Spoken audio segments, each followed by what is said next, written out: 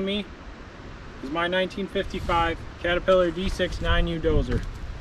I've had this dozer for a little while. I've done some work to it, as you're about to see. And if you're watching this, I really appreciate that. I never really thought anybody would be interested in watching the stuff that I do, but you guys like watching it, so here's a video on this dozer. Thanks everybody.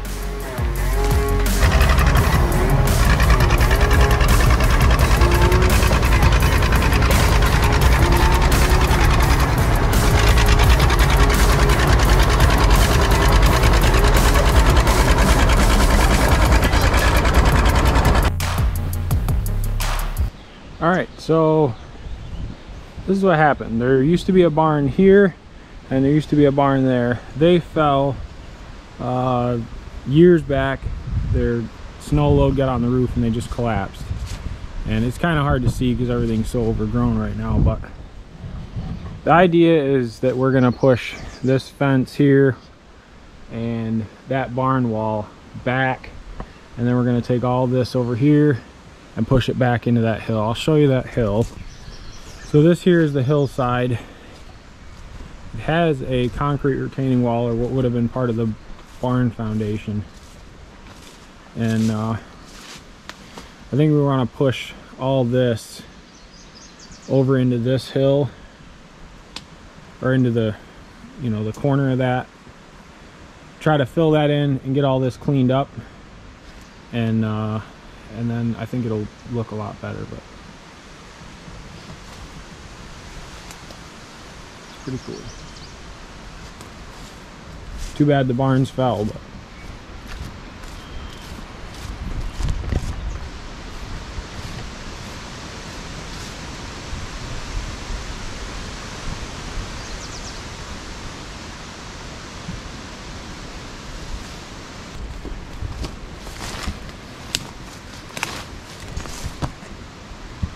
So this is down in the corner, kind of where I'll just put everything, just run it all up against here. See what's left. So let's get started on this.